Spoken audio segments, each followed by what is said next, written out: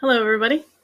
Uh, so, thank you for coming. I'm here to talk to you a little bit about the mainframe um, and how we've been working for several decades um, on open source and Linux on the mainframe. Um, specifically, I'm going to hone in on the past 20 years, um, and that's pretty much when Linux started um, on the mainframe. So, a little bit about my background. Um, some of you may know me from some of my past work in the open source world. Um, I've worked on Debian and Ubuntu. Uh, that's kind of where I started. Um, and then about eight years ago, I started working on the OpenStack project. I was a member of the infrastructure team there. Um, before I joined IBM, I was working on Apache Mesos. And then in, later in, in that, I started getting into Kubernetes. So if you see a pattern here, um, I've been working on Linux distributions and distributed systems, um, almost all cloud based. And my actual day job in most of these roles was as a Linux systems administrator. So I was managing these tools um, and building these big infrastructures across cloud platforms. Um, and now I work on mainframes, um, which may seem like a very strange pivot um, for someone who spent their whole career working in cloud and distributed systems. But for me, I was interested in a new challenge in my career. Um, I cloud is cool and it was a lot of fun, and I was really deep into the infrastructure stuff, going to a lot of conferences and events and things. Um, but I I kind of had this old like hardware geeky um, love for alternative architectures from x86. So um, if you could see down next to me, I have a SPARC Ultra 10 sitting here. I've got a Raspberry Pi on my desk. um, and so I, I just have a fascination with this stuff. So when IBM came around and said, hey, you want to work on IBM Z?" I was like, what's IBM Z? so IBM Z is a mainframe. And uh, I decided to come on board as a developer advocate to talk to people like myself who are uh, involved in open source communities and come from a Linux and developer background. Um, so that's me, and that's how I ended up here. um, I want to let you know if you have any questions throughout this session. I'm going to try to keep an eye on the Q and A, um, but this is the first time I've done like a Q and talk at the same time, so we'll see how that goes. If I can't keep up with them, I'll, I'll just read them at the end. Um, so, but feel free to ask questions if you have any as they come up. So the first question, and the question I asked myself a year and a half ago, uh, was what is a mainframe? Uh, so I kind of had this 1960s picture in my head. Um, a lot of the news articles you read about mainframes say they're obsolete. Um, having worked in distributed systems, a lot of the customers we worked with were trying to modernize their infrastructure. And for that, they meant getting rid of the mainframe and moving everything to cloud services. Um, and I, I watched a lot of those projects kind of end before they got rid of the mainframe, and I didn't really think about that pattern much um, and, until I, I, started this role, um, where I really came to understand what they are and why it was so hard to get rid of them. Um, but it turns out mainframes are actually quite modern. IBM um, releases a new a new version every two years. Historically, like in the past uh, recent history, it's been every two years. So uh, the Z15 um, was released in 2019 in September, and we just released like another version of that back in April of this year. So the latest mainframes are from this year, um, we, and they're all got modern stuff inside. But what is it exactly? Um, before I joined, I read this book, What on Earth is a Mainframe? Um, I think I had to buy it used because it's not around anymore, um, but that was a super nice introduction. Um, but basically, it's it's a very data centric machine. Um, if you think about the first companies and organizations that needed a computer, um, they were very focused on uh, industries that needed to process data. Um, of course, this is the 1960s. They weren't making websites and they weren't uh, really connecting people in any way. Um, but if you look back in computing history, the first computer ever built was for the US Census. Um, so it's, it's people who really need to handle data. And so that is what the mainframe is focused around. It's you, you hear terms like batch processing and data sets a lot in the mainframe world. So what does it look like inside? This was like the first thing I did when I started, when I joined. I, I asked everyone, I'm like, do you have pictures of what's inside? And they're like, it doesn't matter we never even see the mainframes anyway. We all just terminal into them. And I was like, I don't care. I want to see what it looks like inside. um, so eventually I, was pointed to some, some pictures. Um, so this shows what the inside looks like. Um, it's a little hard to find a color that looks shows up well on this, so I'll just kind of explain. Uh, so there's a bunch of uh, there's a bunch of power that powers this. They come in air cooled and water cooled versions, um, and then these these I/O drawers have all your I/O cards. Um, they do a variety of things. Some of them will do encryption. Some of them do um, uh, actually connecting to your to your um, storage arrays and things. Um, and they um, handle different types of processing than the central processors do. So the CPC is the the central processor drawer. Um, this is like a fully loaded machine, so it's got five drawers, and it, it's for like 19 inch racks width. So each one of these little segments of the four is 19 inches. So they'll fit in like a standard rack space, um, which is really nice because that's kind of a new thing with a mainframe. It used to be they kind of needed their special spot in the data center, but now they just fit into standard spots. Um, so it's got the gigabit switches and the support elements, which is how you interact with the mainframe if you're, you're using it like like you're actually at at the terminal using it. Um, a very, very important thing for this talk is that it's not x86. Uh, depending on who you talk to, uh, the architecture is going to call, be called IBM Z or Z architecture. In the Linux world, you'll often see S390X. So if you look at the binaries that are released, S390X is what's going to be in the in the open source binaries, um, just like AMD 64 um, or uh, ARM or whatnot. So it's S390X. Um, that comes from because the first uh, mainframe was an S360, and so that that the the you know or it was just that that name has kind of followed it along because it's the same architecture, um, slightly different bit number. So it was 31 bits at one point. Now it's 64 bits. Um, but inside, uh, a fully loaded mainframe these days comes with 190 processors. Uh, those are 5.2 gigahertz each. Um, and I actually didn't include the picture of the chip that included the caches. But since this is all very data oriented, the processors have really huge caches, so they can handle processing a lot of data. Um, there's 12 cores per chip, and then on the machine, you can have up to 40 terabytes of RAM, which is a lot. I don't need to tell you that. um, I'll make these slides available later too, um, but this link is, is one that I, I, in a blog post I wrote when it came out in September um, about the new machines because I was like, oh, everyone needs to see the hardware pictures. And I don't want them to have a hard time like I did to find them. Um, you may have noticed I haven't mentioned storage at all. Uh, and that's because the machines are really just giant processing machines with their I/O cards and their um, their memory and their CPUs. Um, storage is, is somewhere else. So if you want like the best and most amazing storage, you're going to buy the DS8900F. That is six petabytes of, of storage on flash. Um, it's probably really, really expensive because it's kind of amazing. Um, but there's all kinds of storage systems and, and, different companies make them. But essentially you, you attach a storage machine to a mainframe because the mainframe does not have storage on its own. And the mainframes these days run Linux, and they have for over 20 years. And this is the hook that got me in. Um, the other thing that I thought of when I thought of mainframes was how closed and proprietary um, they are.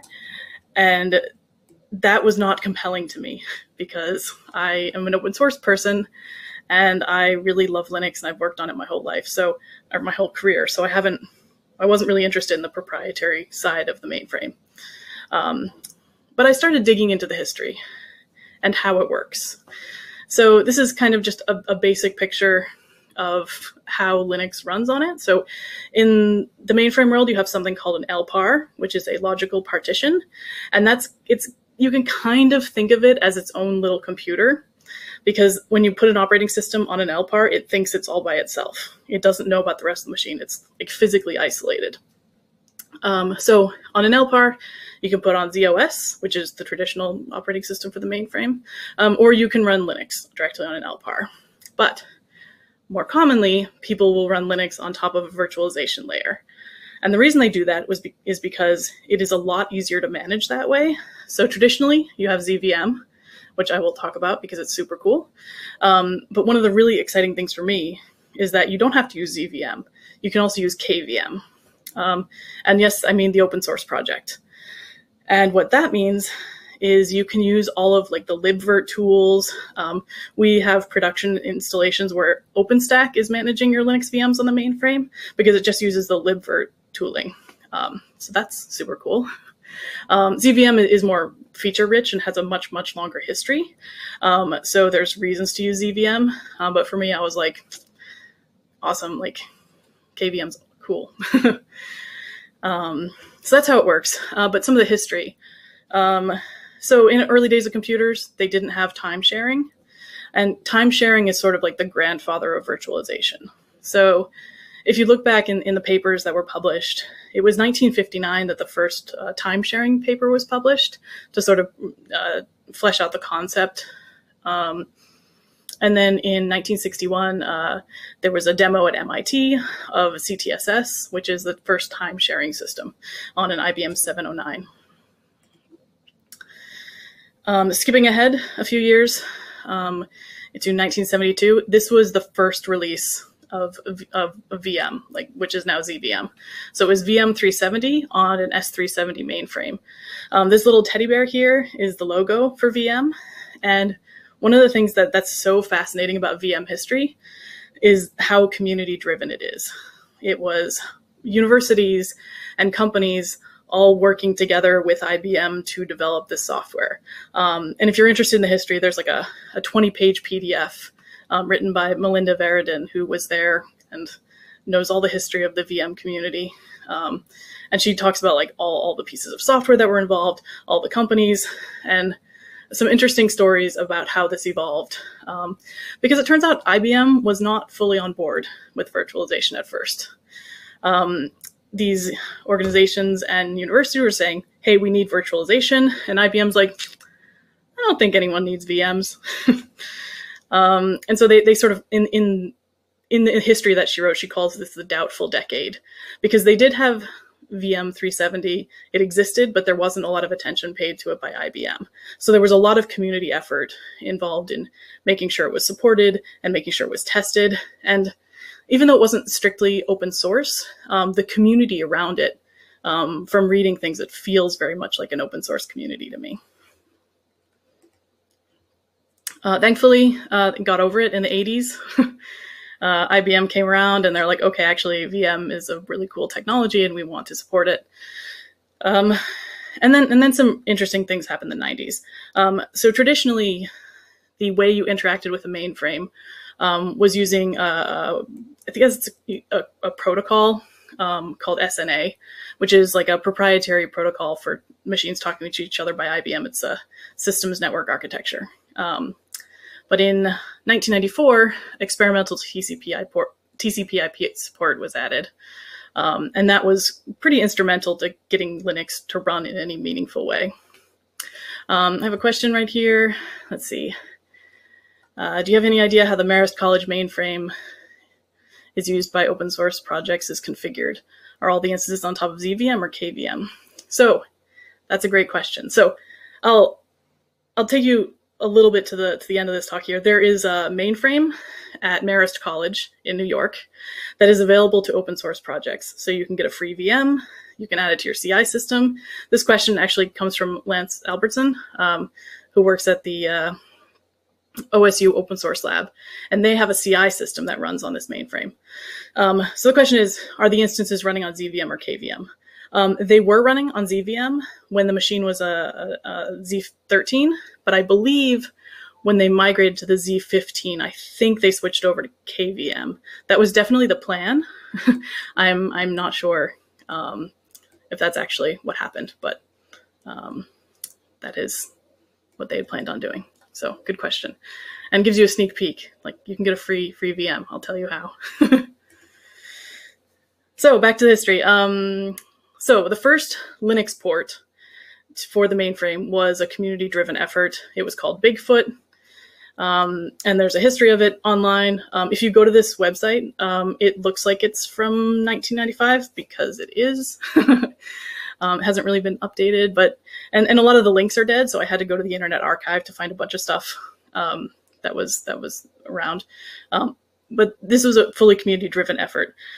And if you if you remember back to 1999, um, this was early days for the Linux world. It's like when I first ever got Linux installed on a machine. I think a friend installed it for me and was showing me around. Um, but this is the era where people were trying to just, it was very hobbyist driven. People were trying to put Linux on everything. There was an essay about how to run Linux on a dead Badger. Um, and this is kind of the environment where this community came together and was like, I wonder if we can run it on a mainframe. um, and so th- there's this list on this website about why they went ahead and put it on the mainframe. So first, it was a stunt. Um, secondly, to learn because they wanted to learn how to install an operating system that wasn't necessarily um, built for the mainframe. Uh, because it's there, because it's gnarly, and those those four things are things that really resonate with me because, like, I am hardware geek and I love putting Linux on weird things. So like if, if I'm honest, like those are like the real reasons the community ported it. Um, beyond that, you have like, oh, it's got really fast I/O. Remember the data-drivenness of mainframes. Uh, VM is a really cool technology. There is technically a business model there, and that's really what IBM latched onto. But the first four, that's what I'm all about. because it's there. Why don't you put Linux on it? Put Linux on everything. Uh, and then IBM came around. So in in speaking with people, so I, I, I did a couple of articles about the history of uh, last last fall, and a, a, people from the mainframe community kind of came out of the woodwork and was like, actually, it turns out IBM was working on this while the community edition came out, but when the community edition came out, IBM was like, oh, we actually have to like make this public now and talk to these people because we're actually working on this too. So while the community edition was being worked on, IBM was also thinking about Linux. So on December 18th, 1999, uh, 20 years ago last year, uh, the first patches were made and released by IBM for the 2213 kernel. Um, these were not mainlined in any way. They were just patches that IBM said, here, put these on your Linux and it'll go. um, and then there were formal product announcements in 2000. Um, there were a few early companies um, that were involved in making their own little distributions. Um, and Marist College was already involved here. They're the ones that run our community mainframes these days. And then we get to the question. So wh why is IBM involved here? So there's this commercial from 2001 called Heist. Um, there's the YouTube link there. You could just look up IBM Heist and it, it, it's funny. It was it was given to me by a colleague when I was asking him about history, um, and he's like, "This is a hilarious commercial." So it shows all these guys, the guy, this guy with security saying like, "Where'd all my computers go? Someone must have stolen them." And at the end, there's an IT guy who says, "Oh, they're consolidated on this IBM e server." Like that was the that was the big message is you can take all of your Linux boxes and consolidate them onto a machine. And if you see this banner behind me, that's actually one of the original Linux eServer banners. Um, my colleagues found it in a closet and said, Liz would love that. And I was like, yes, Liz would love that. um, so now it's in my home office. Um, so IBM was really behind this, even as early as 2001. Um, of course, press got around to talking about it, like, hey, Linux, Linux is now everywhere. It's even running on mainframes. And so we've had 20 years to work on this. So big things that are happening.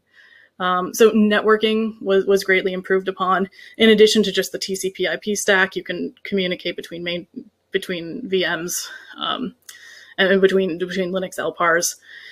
Um, storage has has been a huge thing um, since the storage is on a different machine, and the communication with that is a lot of the proprietary connectors. Um, getting Linux attached to storage is kind of a big deal. Um, so there's like interfaces and everything that all work with Linux these days. Um, there's now a specific processor that's designed specifically for Linux um, in the mainframe, and so these are called Integrated Facility for Linux processors, IFLs. So when you buy a machine and you just want to run Linux, you can get the IFL processors. And The big secret is that they're cheaper than the regular mainframe processors um, because you can't run ZOS on them um, or any of the traditional mainframe operating systems. It's just for Linux. Um, and open source became a really big deal, which is what you're here to hear about. um, we have a list of validated open source software um, that IBM maintains of stuff that we actually like stand behind, and I'll, I'll get to that in a few minutes.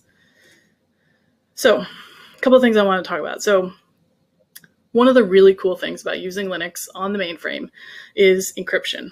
So, each processor, the one I talked about earlier with the 12 cores, they have a crypto coprocessor and so if you're doing encryption work, um, the encryption uh, processing does not take away from the general processing you have on the machine. So you can do as much, pretty much as much crypto as you want. You can use um, crypto in flight, crypto on disk, and it won't take away from your general processing stuff. Um, obviously, this this has also been replicated on x86 and other platforms at this point, um, but this is something that mainframe has had for a very long time, and it's still crazy fast.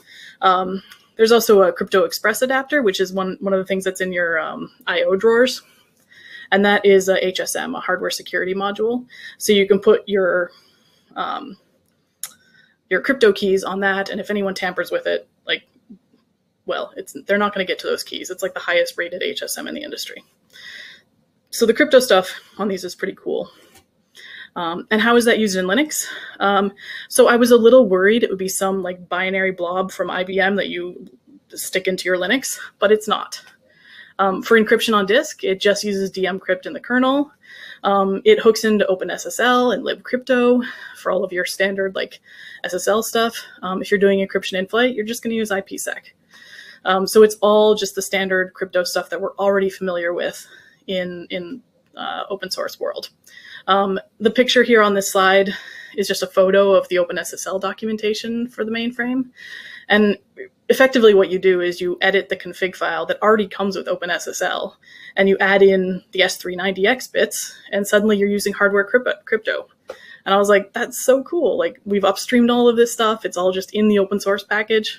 Um, so now my SSH is using the hardware crypto. Awesome. So I already mentioned IBM was pretty invested in this all the way back to 2000, 2001. But the really big thing that happened in 2015 was that IBM came out with the Linux One. Uh, the Linux One is a mainframe that only runs Linux. So I mentioned those IFL processors that only run Linux. This machine only has IFL pro- or, yeah, IFL processors. And so it can't run anything else, can only run Linux. Um, so it's essentially a Z15, which is the one that came out in September, but it's got IFLs. Um, so there was the Linux one. Um, they used to name them after penguins. They don't do that anymore, which made me sad. But we had the Emperor and the Rockhopper. Um, funny story, actually. One of my colleagues says he always gets those confused. He's glad we don't use the penguin names anymore because he's like, how do you know which one's the big one? And I'm like, obviously, because the Emperor is the big penguin and the Rockhopper is the little penguin. And he's like, Liz, not everyone knows about penguins. um, but so we had the, the Rockhopper and the Emperor, and then the Rockhopper 2 and the Emperor 2, and now it's called the Linux 1 3. Um, so it's the third iteration of the Linux 1 machines. Um, so the way you can tell from looking at one, um, it's orange on the outside instead of blue. Um, but otherwise, and it says Linux 1 on one of the doors. Um, but otherwise, they're, they're pretty identical machines aside from the processors. Um, but my point here is like IBM was so serious about their investment in Linux uh, that they made a whole physical machine devoted just to Linux and the brand Linux One. So, uh, some of the open source stuff. So, um, I mentioned it's not x86. Um, in fact, it's not little endian at all. Um, it's big endian. So it's probably, I think it's the only big endian processor out there anymore that's still actively used. Um, and so it's uh, it's a different architecture and and it's got some some weirdness with with memory stuff if, if people are trying to do clever things with memory on x86 um, there's a question here the difference between the standard and the um, the the ifl processors. Um, the difference is I, I believe it is it is firmware related. That means they can't run zos otherwise the processors are pretty much the same. Um, they're the same speed and they can do the same things. It just the, the Linux one cannot be used for the other stuff. There's some firmware in there that says it can't. Um, so, but open source, right? So, in order for software to run on S390X on the mainframe, um, it needs to be ported. Um, so I have this open source software list again, um, and so this is like our, our like our pretty slide of logos.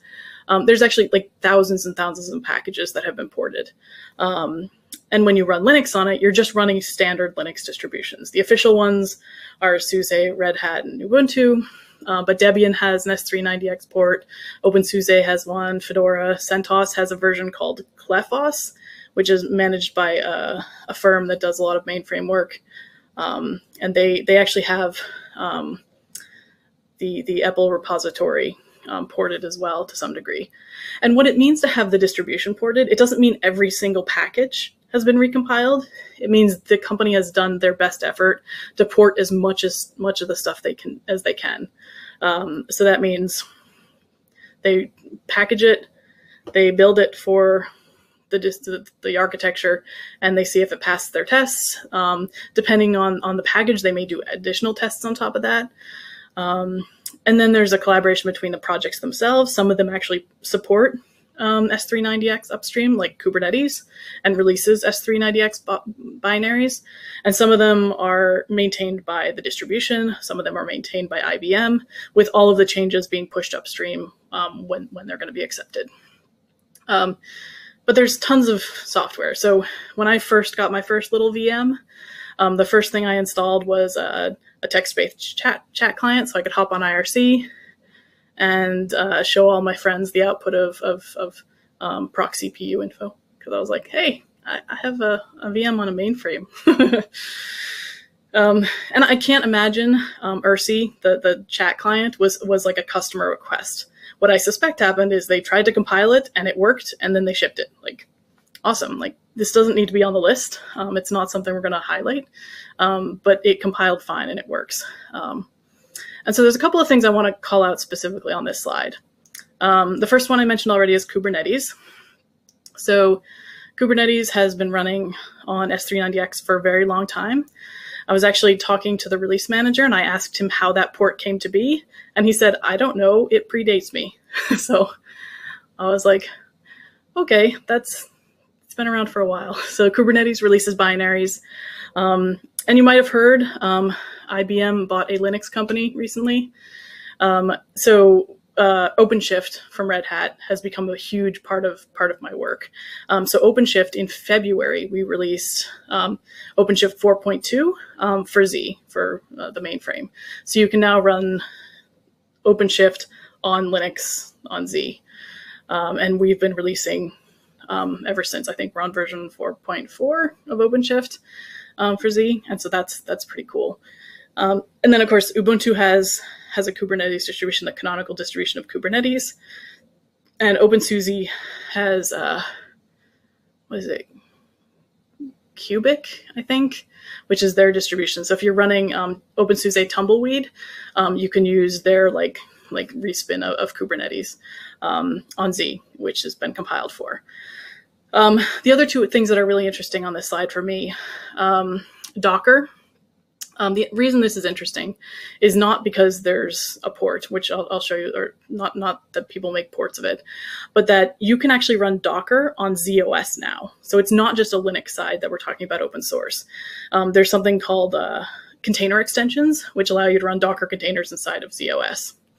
Um, and then another interesting one on here what one was I thinking? Ansible, yes. So, you know Ansible. Um, it does orchestration, can handle your Linux machines.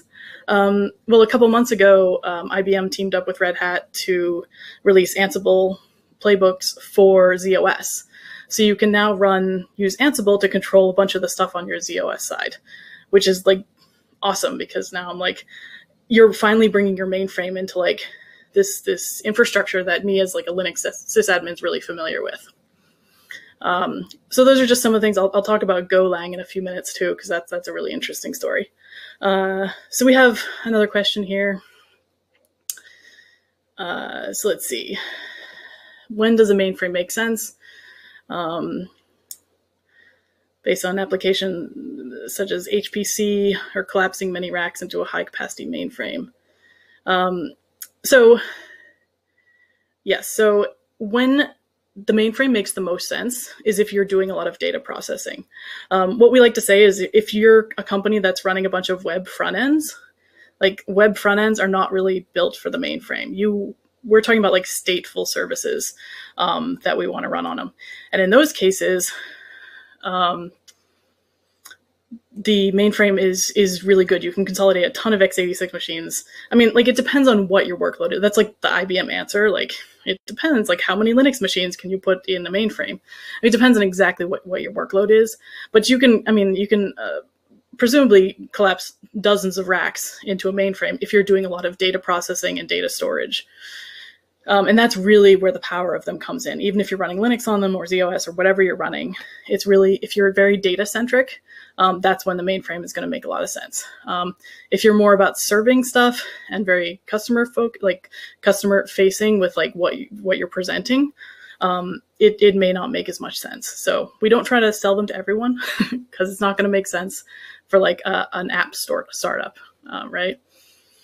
Um, and and it is not like really built for HPC workloads. It is still like uh, uh, an enterprise level system. So it's it doesn't have like the superpower of of a high performance computing system. It's not a supercomputer, um, but the processors are fast, and these are pretty sick machines. Um, and then uh, another question, a beginner question: If I open top, do I really see 2,000 cores? No, and that is because of the LPARs. Because your LPAR can be assigned a certain number of processors. And as I mentioned, like those are kind of like physically isolated. And so you will only see the cores that are devoted to that LPAR. And then whether you're using it like an LPAR with PR/SM or an LPAR on top of something like KVM or, or ZVM, you'll only see the cores that are that are devoted to you. Um, if you use more of the standard like mainframe tooling, um, you can actually see at a deeper level. But if you're on Linux, you're only going to see the the processor, the ones that are that are given to you, because essentially every operating system running on a mainframe is kind of virtualized. So I threw something in there just a second ago, PR/SM, and that that is that is like it's not quite virtualization, but it kind of is. PR/SM is what controls everything that's on the LPAR. And so you're still going to have like some abstraction from exactly where the hardware is, but there's like there's there's no penalty for using that. Um, so that is that. I hope that answers your question. it's still cool seeing the processor info though, because you see like um, there, there's different information I can I can show you later, but it's um, you can see the processor speed and the different architecture and other things that are interesting. So uh, I, I, briefly mentioned the verified software list. Um, so this is maintained by a team at IBM um, who upstreams all of the changes and writes documentation on how to build software um, when it's not completely straightforward.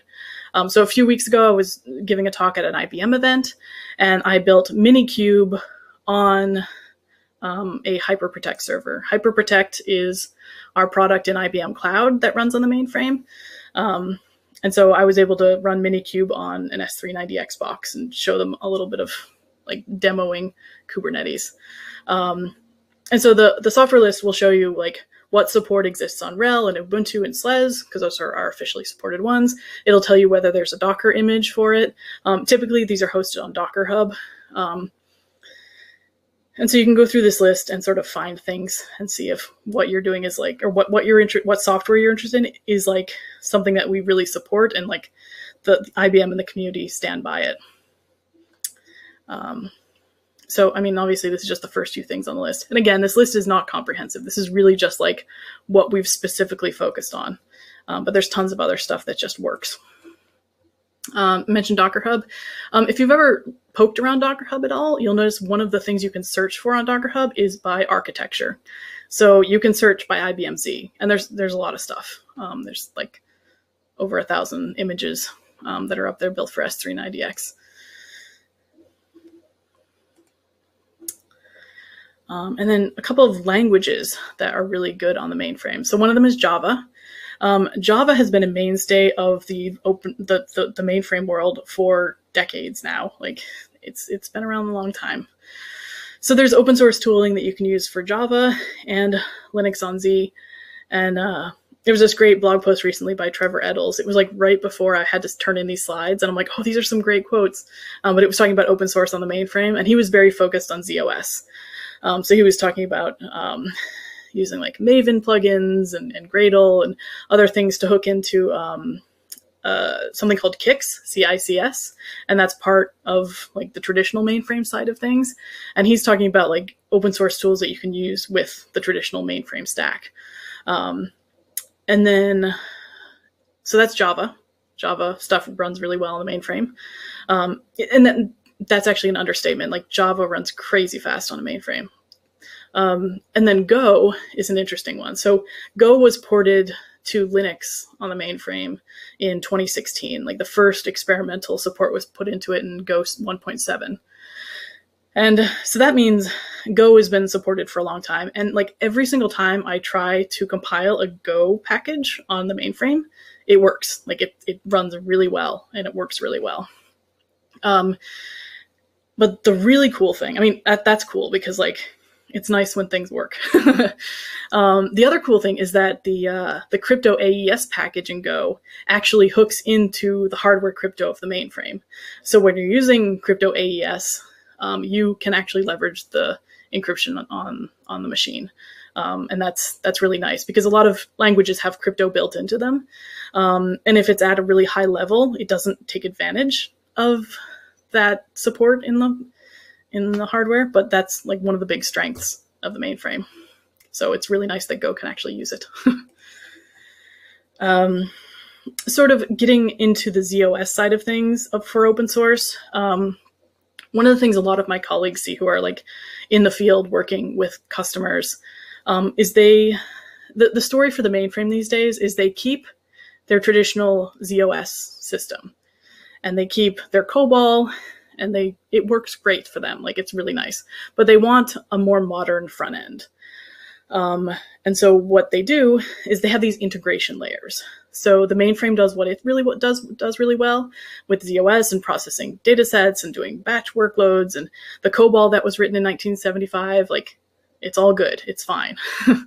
um, but they want to hook it into a modern front end. So they'll use something like Swagger to develop an API to point to, so that your your front end can now talk to the mainframe backend. Um, the other cool thing is that um, as of the 2014 standard of COBOL, I think I think yeah, it, it, supports JSON now. So if you point some JSON at your COBOL code, COBOL will know what to do. It knows how to parse JSON. Um, so if you have a web app that outputs stuff in JSON, like COBOL's like, yeah, no problem, I got this. Um, which COBOL, whole different discussion too, because they're working on the 2020 standard, I think. Um, it's all pretty new. Um, so COBOL is actually a, a, very live, alive and, and being constantly developed language as well. Um, but it's not really something you write a web app in. um, so uh, another cool thing. So this is the Open Mainframe project. Um, this is one of the things that made me join IBM in the role that I'm in. Um, I, of course, again, like I'm really open source person. so I, w- I was I was interested to see the open source tooling that was available. Um, and when I saw that there was a whole project under the Linux Foundation that was devoted to developing open source software on the mainframe, I was like, okay, like they're actually serious about doing open source work. Um, so they have several projects under under their roof. Um, the really big one um, that sort of like is like the the crown jewel of, their project is called Zowe. Um, actually, my, my colleague Joe Winchester did a talk about this two days ago at this summit. So it was called, uh, uh, well, it's a long title. How Open Mainframe Project Zowe is opening up the mainframe. Who says you can't teach an old dog new tricks? So again, this, instead of being on the Linux side, this is on the ZOS side. So what it's doing is it's taking the old system that also, to be clear, has been continually developed and always being modernized as well. Um, uh, but it adds like a, a, really slick front end to it. Um, and it's all, all done in open source. So I can show you, um, this is ISPF. Um, this is how you would traditionally interact with a mainframe. Um, you log into an S39 or log into um, a 3270 terminal. You get into ISPF, and we actually have a a project, the Open uh, no, Master the Mainframe, which is a contest from September to December each year. And so students can sign up for it. We also have a learning system for all the rest of us, but students can sign up for it and learn really basics of mainframe. Not the Linux side that I've been talking about, but like the ZOS side. Um, and so you're presented with this menu. And this is what I took a screenshot from because I was on the learning system. The first thing it has you do is reset your password. And I messed that up. So I had to reset my password through the bot in Slack. um, but it, it's, it's, a UI that that like people who've been working on the mainframe for a long time or people who've gotten really familiar with this UI, they love it. Like they can do things really fast in it, um, and they're very familiar with it, and they never want to give it up. Um, and I get that. Like as a Linux sysadmin, like if you ever take away my terminal, like I'm not working on the computer anymore. It's, it's no good. So, but for someone who's new to the mainframe, um, or someone who, who wants to learn the coolest new things in technology, this is not the most appealing UI. Um, so what Zowe does is it um, adds this API that allows you to build really cool stuff on top of it. So this is a screenshot of the Zowe Web desktop, and it has, it's got kind of like a start menu on here, and then it's got applications that you can launch um, that allow you to do a bunch of stuff. So it still has a 3270 terminal if you want to use that, but it also has like explorers that allow you to like view different parts of the mainframe. And this was really cool for me because I wanted this like holistic view of what's on the system because I really didn't understand what a mainframe was. I didn't really understand batches or data set. I mean, at an abstract level, but like in the mainframe world, I didn't really understand a lot of that stuff when I was first learning. So these graphical based explorers give you like a much better view and you can interact with it like in this way. Um, so I wouldn't say the desktop is like the web desktop is like something you might use every day or when you become more sophisticated as a user. But for learning, um, it's really it's really an interesting tool. Um, there's also the CLI, and this is the one I'm really excited about because with the CLI, you just install this Zowe package on whatever machine you're on, like your laptop or whatever x80 x86 machine you're on, and then you can run mainframe specific tasks using the Zowe command line. Um, obviously, you need to be connected to your mainframe, and so you need to have access to that. Um, and we don't just open them up to the whole world, so your desktop has to be one of the privileged few who can attach to the mainframe. Um, but what this allows you to do is, is build all kinds of interesting things. So the CLI has been used to build a visual Visual Studio Code extension. So you can use VS Code connected to your mainframe and like run things. Um, so you can have a, a nice modern IDE. Um, but the really cool thing for me coming from like a CI/CD background is that you can also do like lots of automation and scripting and you can add things to your CI/CD pipeline. Um, it actually came out too late to add to these slides, but there was a an engineer from Broadcom who just wrote a, a Medium art, Medium.com article about using Circle CI to install the Zowe CLI and then run tests on the mainframe, gather those results, and then it's just part of their CI system. And I'm like, that's super cool because you didn't even need like Circle CI didn't even need IBM Z support. It just used the Zowe CLI and x86 to do the call out to the actual mainframe that you already have. So that's the CLI. And then the API. The API, as I mentioned, that's like what makes all of this possible. Um, so again, if you want to go back and find Joe Winchester's talk about this on Monday, um, he goes into much deeper um, stuff about Zowe because that's what his talk was about. So Open Mainframe project, they have other projects out there. Um, I'll just I'll just highlight a couple of them. One of them is syntax highlighting um, for for for ZVM stuff. Another one's like anomaly detection engine for Linux logs because one of the things that a lot of mainframers have struggled with was like Linux logs are like secretly stored somewhere on the Linux and they don't know the Linux. So this this helps like bring the logs into a place where all the rest of the mainframe logs are and helps them figure out what's going on. Um, some of these projects like um, uh, some of them are like more like mentorship programs. Um, there's a new COBOL course. Um, Feilong is an, an interesting one. Um, it creates a ZVM cloud connector. So I talked about using like something like OpenStack and KVM. So this allows you can use OpenStack with ZVM, and allows you to use this cloud connector. Um, and so that's that's been a thing. Um, polycephaly is a really interesting one too, because that allows you to do ZOS with Jenkins and Git. So you can use all of your traditional um, like uh, ZOS stuff, but you can use a modern CI/CD pipeline. Um, another interesting one is Zorow. So this one is not like it's not really code, but it is um, OSMF workflows um, so that people can share like this open repository of of the way they do things. Um, and then this year we, we added a few more projects that I don't have pictures of. um, so one of them is the COBOL programming course. Um, that's one that IBM worked on with American River College, and now there's like a bunch of other contributors because it's in GitHub. Um, so there's people developing for the uh, programming course in COBOL. Um, there's an education working group, and then the one that I'm working on is the software discovery tool, and that allows you to search for open source projects um, that that run on Z. Um, it'll kind of replace the these verified software list that we have, but it'll also search like all kinds of um, software packages eh, on all the distributions. Um, and then your own software, you can build it for the mainframe. Um, there's a few really easy ways to do it. Uh, so um, uh, Canonical has a service called Launchpad. And on Launchpad, when you upload your deb package to a PPA, a personal package archive, one of the options is you can like check a box and it'll build for S390X. It's really that simple, but I, I wrote a whole blog post about it last year anyway. um, there's also the OpenSUSE build service.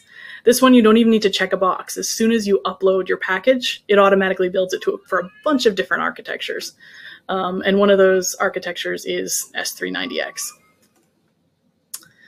Uh, one of the things we were really excited about last November, I actually went to um, uh, GitHub Universe and like was hanging out at the Travis booth um, because we announced that we now support um, IBM Z and IBM Power um, on Travis for open source projects. So if you're an open source project using Travis CI, you can add the S390X builder to your project for free and you can play around with it and you essentially just get to build on whatever platform you want. They had already supported ARM, um, so can install it. You can build your package wherever, and that was pretty cool.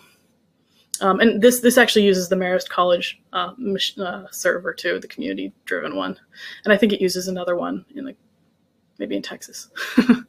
um, but we donated the resources to Travis CI community, so open source projects could play around with this. And then the, the thing that uh, Lance had mentioned in his question earlier, um, we give a give away VMs to um, open source developers, and really anyone who wants one. Um, you go to developer.ibm.com slash Linux one and you get a free VM for 120 days. Um, you can install, I think, it's, it's either RHEL or SLES. You get to choose which one you install and then you can play around with a VM. And it's a pretty beefy VM too. It's got like a bunch of RAM and CPU. It's it's a pretty nice machine. Um, they're automatically shut off after 120 days, but you can just sign up again. um, the one thing I'll say is that if you if you're an open source project and you're actually getting really serious about wanting to test on this and you want a VM from us, um, just drop me an email. Uh, my email will be on the last slide.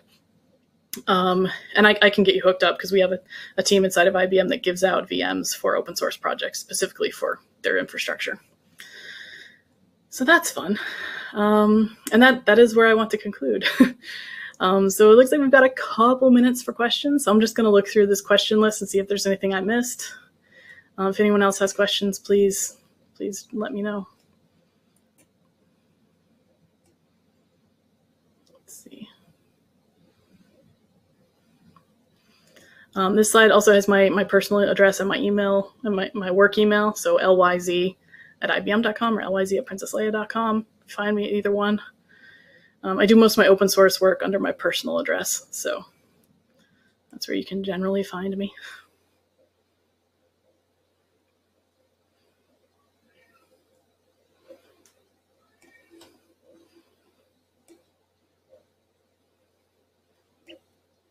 All right, it looks like there aren't any more questions really. Um, let's just double check here.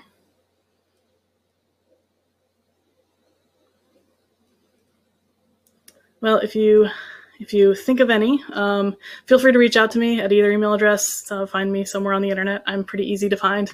Um, I'd be happy to help you out. So Thank you, everybody.